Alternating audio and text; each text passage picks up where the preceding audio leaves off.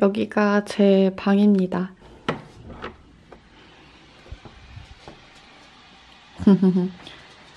뭔가 딱 문에 들어왔을 때 전체적으로 보이는 뭔가 이미지? 문을 닫아주고 문을 닫아서 뭔가 보이는 화면, 뭐 보이는 거는 이렇고요. 사실 조금 작은 방이에요. 제 생각에는 한 2평도 안 되는 그런 방인 것 같아요. 그래서 들어왔을 때 이게 여기가 베란다여서 이거를 막을 수가 없었어요. 침대를 이렇게 세로로 뒀습니다. 원래는 침대 프레임이 있는 걸 사용을 했는데 공간이 더 넓어 보이려면 침대 프레임이 높을수록 뭔가 공간이 작아 보여서 과감하게 프레임을 버리고 이런 원목으로 된 팔레트를 구입을 했어요. 이렇게 옆에 보이시면 이런 하단이 원래는 뚫려 있거든요. 저는 추가 요금을 내서 이렇게 양쪽을 다 막았습니다. 먼지가 좀 들어가는 걸 방지하려고 막았어요. 이렇게 보이시는 침구랑 그리고 베개는 모두 다 이케아에서 구매를 했습니다. 그래서 보면 어떤 재질이냐면 안에는 좀 두꺼운 솜이에요. 그래서 두꺼운 솜으로 된 거를 구입을 했고 그리고 이거는 목에 좋은 베개라고 해서 약간 굴곡이 져있는? 굴곡이 져있어요. 딱딱한 베개이고요.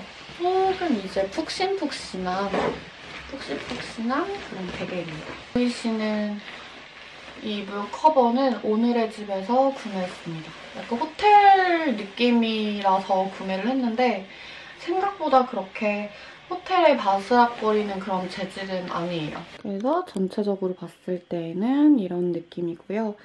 그리고 이 위에다가 이제 뭐 책 같은 거나 안경 같은 거를 둘수 있는 원목 수납장을 이렇게 하나 위에다가 놨어요. 그리고 이거는 브이로그에서 보여드렸던 테이블 야자 진짜 식물이고요.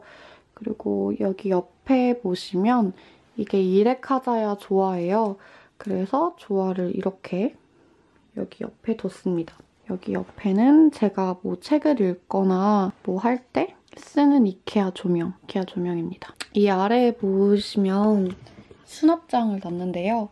이것도 역시 오늘의 집에서 구매를 했고 이렇게 두 개가 사이즈가 딱 맞다고 해서 두 개를 구매를 해서 여기에는 잘 손이 가지 않는 짐들을 넣어서 보관을 했고 이거는 어, 그렇게 많이 빈도가 높진 않지만 그래도 가끔씩 사용하는 것들을 넣었어요. 협탁은 이렇게 배치를 해서 놨습니다. 다 나오고도 제가 딱 보이고도 더 남는 그런 크기예요. 그래서 이 거울이 있어야 그래도 조금 방이 더 넓어 보인다고 하길래 이렇게 샀습니다. 뭔가 색깔도 메이플 색깔이어서 제가 뭔가 꾸민 방 분위기랑도 좀 어울려서 색깔도 너무 마음에 들고 나도 여기에 이제 미끄럼 방지가 같이 있어서 이거는 본드로 제가 한번 붙였거든요. 그래서 이렇게 해서 세워두고 있습니다. 그리고 이 옆에 보시면 공간이 있어요. 공간이 있어서 아래에 보시면 화장품들을 놨어요. 정리해서.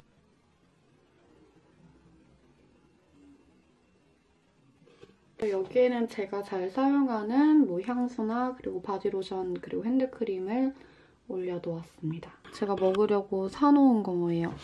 이거는 이마트 트레이더스에서 구입을 했고 벌써 조금 많이 먹었어요.